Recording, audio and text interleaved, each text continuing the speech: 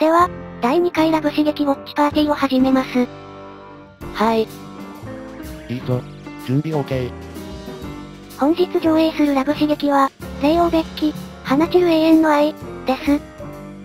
前々から長くて変わった放題に先生が突っ込んでたやつですね。私が適当に飛ばしながらハイライトだけお見せしますね。今回はゲストをお招きしました。愛子くんです。こんばんは。あれ？今度は愛子くんなの？今度こそ産後が来ると思ってたけど。産後くんは先生からとうとう負荷を出されちゃったので、なんとか他の授業の単位がもらえないか、よその先週の先生方に土下座して回っているそうです。あらら、ついに留年確定かな？自業自得だ。ま、運が良ければ再試験か何かを受けさせてもらえるだろう。ところで、おい、愛子、久しぶりだな。元気か？はい、まあなんとか。愛子くんはコロナ禍の政治に憤り、このままだと紛死しそうだと聞いたので、誘ってみました。暑苦しい夕刻の死である彼には、この一年は耐え難かったのでしょう。そうなのか、愛子。思想が右でも左でも現状を見てたら無理もないが、一人であまり気に病みすぎるな。な何を言ってるんですか先生。嘆かわしい、実に嘆かわしい、ウイルスの蔓延について無責任な政治、不満を吐くばかりの社会、デマをまき散らすマスゴミ。今日だってそんな現代日本の諸悪を糾弾する決起集会だって聞いてきたのに、ネットで中国ドラマのウォッチパーティー。うーん、けしからん。こんな時間があるのなら掲示板に書き込みし、アホな政治家のツイッターを炎上させたりするべきです。けしからん。何もかもけしからん。なんかまっとうなこと言ってるかと思ったら、やろうとすることは超耳っちいわね。うざ。コロナが辛いのはどこの誰でも同じだし、だからオンラインでイベントやってるんだけどねー。お前ら本当に、現実の男に対しては一辺の容赦もないな。まあ、愛子、やろうとしていることはともかく、若者の抱く怒りとしてはむしろ至極健全だ。政治談義なら後で付き合ってやるし、何よりちゃんと討論に行こうな。ぜいぜい。はい、ジンベ先生。とりあえず気分転換してみます。はいはい、始めますよ。時は唐の時代、清廉な地方官の娘鎮守は、利発な彩色兼備の娘ながら、嫁入りに興味を示そうとしなかった。彼女は子供の頃、溺れた時に助けてもらった同年代の貴公子、初恋の君のことを、今でも慕い続けていたのだった。そんな彼女に皇室への腰入れの声がかかる。その相手は幻想皇帝の孫で、後の大宋皇帝たる公平王李祝。実は彼こそあの貴公子だったが、二人はその事実に気づかぬまま、陰謀渦巻く幻想郷の政治劇に巻き込まれていくことになる。なるほど。この美少女が皇室のドロドロ劇にも耐え忍んで純愛を貫きつつ、最後には大宋と結ばれるんですね。いや、その通りなんだけど。なんか表現が昭和的というか、到底こじらせすぎだ、愛子。現代中国刺激のヒロインは総清純でもないぞ。これ、もう一人、相手役のイケメンが出てきた。えもう、もう一人って、これも幼少期、新鎮守には兄弟同然に育った男性がいた。彼の名は安慶書。東京を揺るがす反乱の首謀者、かの安禄山の息子である。ええ安禄山の息子が、二人目のヒーロー？この配役は面白いよな。ちなみに、わしの講義をちゃんと聞いていたなら当然の知識だが、安慶書は後に父を裏切り、安禄山が開いた燕王朝の第二代皇帝に収まるんだ。いいですよね。安慶、鎮守に対してストレートに愛情をぶつけてくるんだけど、彼女は意中の人を思うばかりで、全然報われないの。でも安慶は相変わらず彼女を手助けしてくれて、挙句安禄山には折檻され、公平王からも敵意を向けられちゃうんです報われないっつうか、都合のいい男すぎる気もするけどね。そのうちヒロインへの愛情をこじらせて、暗死の乱を起こしたお父さんと一緒に闇落ちしちゃうんじゃないかしら。案件の闇落ちはわしも期待してるぞ。実は例のタイトルが気になって、自分でも少し先まで見てみたんだ。先生もついに陰キャ萌え、ダークプリンス萌え発動ですか？いいですよね安慶。今のところ今年一押しの役ですよ安慶。きっと最後にはヒロインへの愛情も歪んだものに変わっていって、党への反乱か鎮守一人の奪い合いか自分でもわからなくなっていって。堂々、抑えてマリナ。それで先生、これまでの感想はどうですか？いやいや、このドラマの脚本は、史実を元にしながらもなかなかよくひねってあって面白いぞ。幻想幼稚より後の世代を主役格にするなんて、意外じゃないか？安禄山も、大抵の幻想郷ドラマでは野蛮で狡猾な異民族、というだけだが、この話では老練な武将であり、政治家といった役柄だ。欲を言えばもう少し、速度や特決の寄付を匂わせてくれると嬉しいんだが。そ、それより先生、このヒロイン、私には初恋の君がとか言いつつ、安慶書どころか夫になった公平王にまであれこれ嘘つきまくって手玉に取ってるじゃないですか暗視の乱の勃発にも、手を貸している亡国の輩じゃないですか。ヒロインはあくまで純潔でないといけないという縛りがあるんですよ。だから公平王と夫婦になっても、つかず離れず寸止めです。きっと中国でも愛子くんみたいな純血中が多いんでしょう。だから検閲も通ったんだろうね。確かに実際やってるのは、初恋の君を出しにして目の前のイケメン二人を都合よく利用することなんだけど。そんなの純血とは言わーん。でも、こういう小さい頃に命を助けられて、インプリンティングされちゃってるラブ刺激って他にもあるんですよ。インプリンティングされるのは男女といません。五個十六国を舞台にした孤高の花とかがそうですね。なんで、命の恩人には惚れるものって決定されちゃってるんだろうな。菓子折り持ってお礼言って、その説はどうも、でもいいよな。先生、それじゃ話続かないじゃないですか。ま、一時期アメリカ映画によくあった、二人の男の間で揺れ動きつつ、社会的成功への階段を一歩ずつ登っていくヒロインというのを、現代中国的脚本に落とし込めばこうなるんじゃないかイケメン二人に思われちゃう。いけないわ。という快楽と、定女は二分にまみえずという伝統的道徳観念との矛盾を、誰か一人、架空の男への純愛を貫く形で解決しているわけだ。実のところは目の前の男どもを、低欲貢がせているに過ぎないんだが。その通りです。先生、わかってますね。しかしまあ、さっきも言ったが題材の選び方や、これまであまり描かれてこなかった縮想、ダイソーのキャラ作りとしても面白いし、何より東大後半のラブ刺激空白地帯をいくらか埋めてくれそうだ。わしとしてもこの先は気になるな。ですよねですよね父親さえも追い落としてヒロインに迫るダークプリンス、案件の今後に期待大、です。二人とも案件書が好きなのか私はウイグルカガンを押すわね。味方としても頼りになるし、どことなくトルコっぽい雰囲気も素敵。かっこいい。なんだって。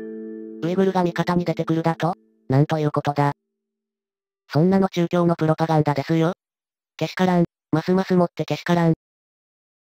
いや、そういう政治臭さは否定せんが、後でウイグルが盗聴の助っ人になるのは史実だしな。そこら辺の、史実はどうなっているのかとかいうツッコミも込みで面白いんですよ。中国ドラマは。ぐぬぬぬぬ。ウイグルの河岸まで手玉に取るとは。やはり現代中国には清純な定女などいないのだな。そんないかがわしい中国刺激が我が国にも蔓延しているとは、なんと嘆かわしい、けしからん、けしからんぞー。落ち着きなさいよ愛子くん。ちょっと、コロナのせいじゃなくても噴死するよ。そういうことじゃないんだけど。なんかやっぱりずれてるのよね愛子くんって。複雑骨折したままで骨が繋がってしまった状態だな。やれやれ。コロナ禍を乗り切るのは、オンラインでも大変だ。ラブ刺激あるある。初恋インプリンティングで、男を手玉に取るヒロインもいる。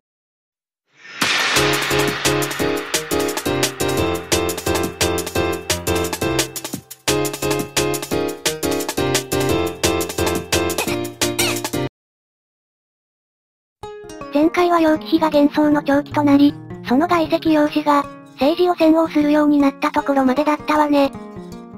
悪辣な政治家、リリンポが亡くなったね。それに代わる最初は楊氏の外石で、博打打ちの洋国中華。税金で博打打って欲しくないんですけど、ほんと。今回は、節度師の皆さんを紹介しますね。節度師に外国人を使えばいいんじゃね？というリリンポの提案によって、任命された外国人の方々がいっぱいいます。ああ。考えてみれば、通って戦費族の王朝なのに、すっかりワイルドさが失われちゃったよね難聴取り込んじゃったせいかな。寂しい限りだわ。一応、個人じゃない、党の名称と呼ばれる人もいるわよ。ただ、リリンポによって潰されていくのよね。ええー。候補名がそうだわね。え、虹のせい変わった名前ね。戦費系候補は劣気とした肝心のせいで、寛大からすでに存在する。ちなみに上官園児の上官も肝心のせいだ。え、そうなの？上官も？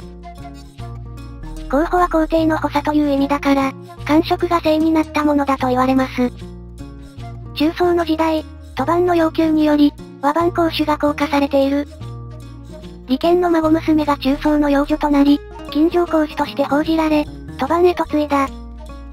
相手は文政公主のひ孫にあたる、デデツク戦王ね。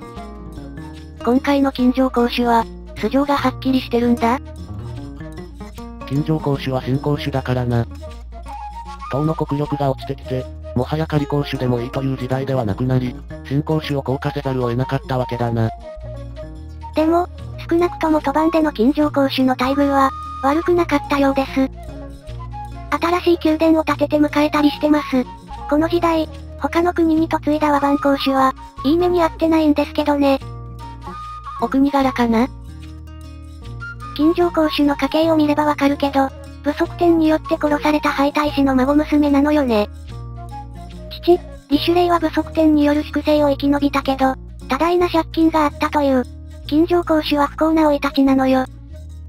彼女を不憫に思った中層は、公主を楽しませる音楽家など、たくさんの付き人をつけて、門の外まで自ら見送った。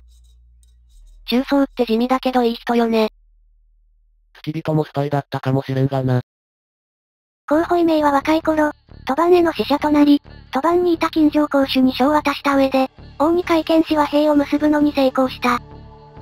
また、賭番の使者と共に長安に帰還し、入港させている。しかし、しばらくすると、また賭番が攻めてきた。その時、候補名は節度師として賭番と戦い、たびたび勝利した。もっとも赤補助だけは取れなかったみたいだけど。つまり彼は賭番方面で活躍した将軍ね。功績により、火星節度師も兼任している。しかし、リリンポの戦を知り、幻想にその排除を進めた。候補名は、李教の友達で部下だったため、リリンポに命令された養親金に監視された。え、養親金って、領大の子孫のリリンポの手先になってんの？そう。養親金は、候補名が大使の兄意見とも仲良しで、夜遊びしていたことまで突き止める。それでリリンポが、候補名と意見が、大使李教を立てて謀反を起こそうとしたと布告した。候補名は左遷され、殺されている。大使妃の兄、意見は兄弟と共に流罪になり、同じく殺された。李教は離婚を余儀なくされ、大使妃は宮中の寺へ出家した。意見の部下であった人物も、連座で流罪、降格となった。それでも粛清は収まらず、死者を巡回させて罪を探させた。厳しく追及したので、連座する者が後を絶たず、牢獄が溢れてしまった。そこで、船を縄で繋いでその中へ収容した。拷問も凄まじく、大勢の人間が裸のまま殺された。この粛清は、リリンポが死ぬまで続けられた。良心金はこの裁判の時、中立を保とうとしたため、リリンポから恨まれて謀反を布告されて死罪になったのね。この事件で、後の粛総理教が、病気費と遊びふける幻想にひざまずいて身の潔白を訴えるのが、霊王別記の第一話ね。確かにそうだったな。やってることが不足点時代の国理と変わらないんですけどなんで幻想は気づかないわけ？キリンも置いてはダバにも劣る。可能。候補名の後を継いで、王中氏が節度師になっている。王中氏は特決や賭番、刑にたびたび勝利し、各地の要害に城を築き、敵を近づけなかった。そのため北の騎馬民族は攻め込んでこなくなり、北方は平穏になったという。王中氏は辺境の安寧に心がけ、平和の時世の昭和平を威武するだけでよく、手柄を立てるのを求めない、と語り、ただ平和の訓練を行っていた。また、作法にいた時、騎馬民族とのごしの際に、高値で馬を買うと言って誘い、競うようにして騎馬民族が売りに来た馬を買った。そのために、騎馬民族の側では馬が少なくなり、東軍の軍馬は充足した。賢いわね。王中氏は最終的に火星、老、作法、加藤の四節年を兼任することになった。しかし、そんな王中氏をリリンポは妬んでいた。最小になるんじゃないかと心配していたのね。ああ、そうか。党の出身の節年は最小になれるんだっけ。加えて、王中氏は勇敢な兵士だった父親が死んでから、幼少の頃は宮中で育てられていた。王子の李教と仲が良かった。またか。リリンポって武慶妃の息子の方を皇太子にしようとずっと画策してるんだっけ？そっちでも対立しちゃうんだ。リリンポと幻想は、王中氏に賭番が占拠していた石補城を攻めるように言い渡した。王中氏は、今、石補城を奪っても賭番を制することはできず、奪わずとも東国には何の害もないばかりか数万人の戦死者が出るから、と言って断った。投入すべき兵力に対して、得られる軍事的成果が見合わない、と踏んだわけだ。幻想は不快に思い、他の将軍に石補城攻略を任せ、王中氏はその援護を命じられた。結局、石補城攻略は失敗し、王中氏が攻撃を緩めたために負けたと弾劾された。また同時にリリンポが謀反の残言をさせた。そのため、極刑になるところを、果樹官が命乞いをして助かった。左遷されてから死去しているけど、暗殺の疑いもある。後日、果樹官が10万の兵を率いてこの石補城を攻略したところ、なんとか落城はしたが、王中氏の言う通り数万の多大な犠牲者が出たので、王中氏は名将と称えられた。そんな王中氏は安禄山の謀反を予見し、しばしば幻想へ上層している。うわぁ。まさに忠国の死じゃないの。北西の最後の方でも皇帝の取り巻きの運行たちのせいで、名将が処刑されて国が衰退していったよねあれ、思い出すわそれから、両国中。え、爆地？打ち節年もやってたの？パチンコ中毒のおっさんみたいに言うな。出世した陽国中は、かつて自分を推薦してくれた恩人の戦宇宙通を、県南節年に推薦した。しかし、党が作法していた南省が反乱を起こした。南省というのは雲南地方にあった、チベット系ともビルマ系とも言われる民族ね。う、うん。わかるようなわからないような。南省は賭番の方の作法を受け、兄弟国になった。トバンと南省の連合軍に破られ、東軍は大敗。大勢の戦死者を出している。その数、6万。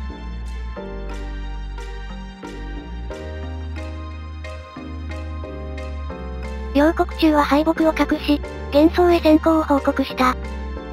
両国中の本質は、幻想の見たいものだけを見せるような詐欺師なのよ。リリンポはまだしも律令性を維持しようと努力したが、両国中は真に無能で、失敗を隠すことに専念した。根本的には幻想に責任があるがな。そのような報告は聞きたくない。というのは、亡国の君主の口癖だ。ええー、負けたことを隠蔽したの？自分が県南節年となって、さらに討伐軍を起こした。南省を攻撃するため、歩兵したが、雲南は伝染病が多く、戦争をする前に8、9割が病死する。と聞いて、誰も応募しなかった。両国中は魚子を派遣して人を捕らえ、風に連ねて軍へ送った。おいおい、それは奴隷狩りでは。さらに旧世では、軍港のある農民は聖役を免除することになっていたが、当時は徴兵する人間が多くなったので、軍港高いものから先に挑発することになった。農民の負担が増すばかりだった。つまり、博打打ちの両国中は老人を騙し、負けたことを隠してさらに戦争をしようとしているのね。金どころか人の命まで溶かしていると。そうね。この戦争を含めて両国中が隠蔽していた戦死者は、20万に上ると言われている。うわぁ。両大思い出すわあの航空遠征何度も繰り返したギャンブル親父。幻想もそれと変わらなくなってきたってことか。と、ここまでが党出身の節年の皆さんね。リリンポは最小になる可能性のある党出身の節度師を一人一人潰していき、異国人を節度師に採用することにした。これからはいよいよ、異国人の節度師について見ていくね。まずはカジョカン。これまでに何回か名前出てきたよね？どういう人なの？カジョカンは西特血のトルコ系部族の出身ね。お父さんは安政都護将軍、お母さんは宝丹王国の王女だったというから、いい家の人らしいわ。節度師の王中士に仕えている。ああ、だから王中士の命乞いをしているのね。いい人じゃん。老雨節度師となり、賭番と戦っている。後には火星節度師を兼ね、両国公にまでなった。ところが安禄山とそのいとこの安志順は、果女官と仲が悪かった。え、なんで？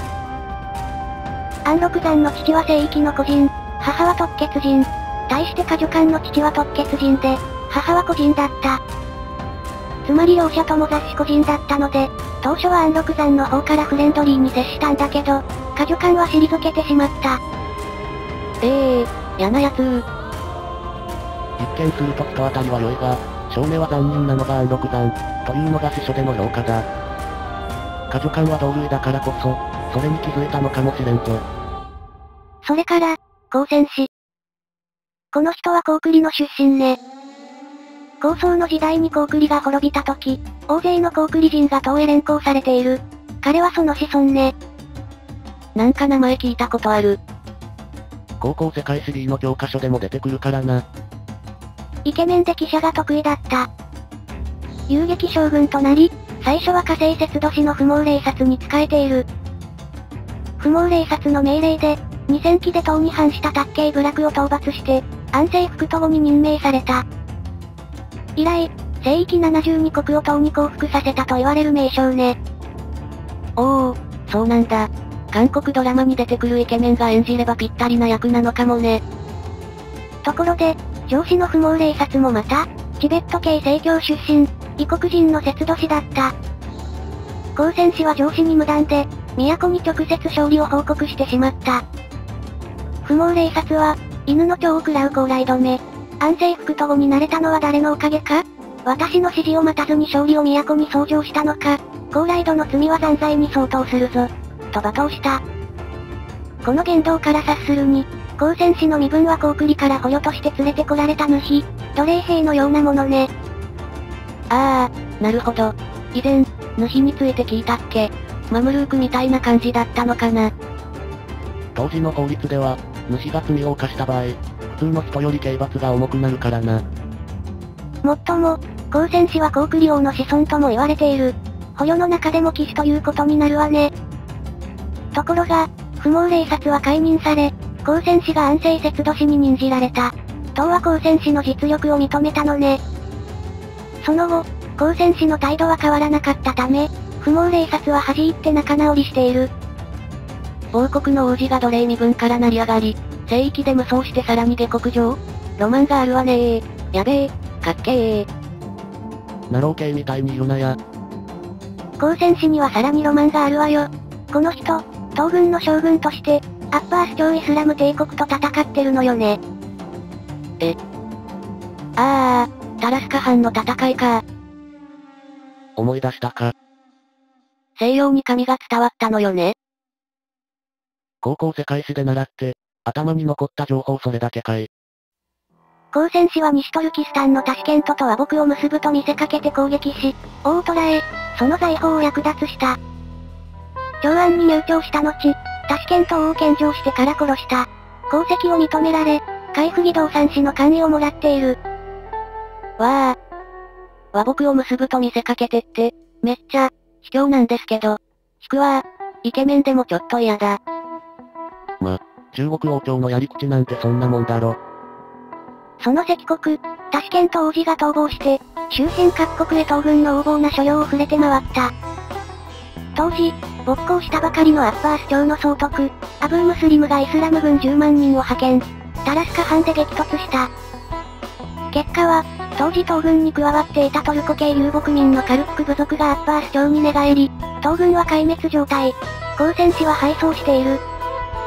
イスラム帝国側の資料では、アッパー主張軍は東軍5万人を殺し、2万人を捕らえたとある。被害甚大だ。高専士が卑怯なことしなきゃ、そんなことにはならなかったんじゃない？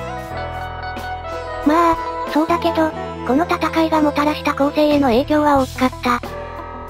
一つは一般によく知られているように、中国の技術、神が西洋に伝わったことね。もう一つは、この時2万人のトルコ系民族とソグド人が捕虜となり、イスラム化した。つまり、この戦争がなければ後のセルジューク帝国、オスマン帝国がなかったかもしれない。マジか。東西世界が相まみえたロマンの塊みたいな戦いなのよ。下手したら三国が湧いて出るわ。いや、さすがに光戦士は三国志に出てこないだろう。まさか、あるのか？敗走した光戦士は7万人もの被害を出しながら、罪には問われなかった。降格もされていない。ええなんで？両国中が戦死者を隠蔽したからだよな。ええ両数の従軍、華々しい武功を求めないことも破られているのね。幻想、暗君まっしぐらだわ。それから、おまけで、安倍の仲間ろ。へ？安倍の仲間ろは、19歳の時党に渡ってきた。党での名前を強行と言い、科挙に合格したとも、推挙されたとも言われてる。この科挙合格に関して、肝心でも一生受験しながら通らなくても珍しくないのに、日本人が受かるなんてすごい、やばい、なんていう意見をちょくちょく見るが、少し控えめに考えた方がいいぞ。白木人で合格してる人物だっているし、彼らには外国人としての合格枠があったんじゃないか、という説もあるからな。安倍の仲間ろって東へ留学して帰ってこれなかった日本人よねあの人、節年になってるの？帰りの船が難破してベトナムから命からがら長安に戻るも、そこで暗死の乱が勃発。法人の身を案じた日本の朝廷から迎えが来たが、当王朝は航路が危険であるとして、帰国を認めなかった。キビの巻き火はギリギリで帰ってこれたんだが、運が悪かったな。帰国を断念して東王朝に仕え、大宋の時代に安南節年になっている。どういう功績を挙げたかはよくわからないんだけど、亡くなった後は露州大都督の官職を追贈されている。へえ、日本人の節年がいるとは知らなかったわ。空海、美しき王妃の謎、では安倍博士が安倍の仲間を演じている。もしかして名字つながりの起用かしら。暗視の乱はいろんな人の運命を変えちゃったのね。で、次回はついに、その暗視の乱か。それではまた次回。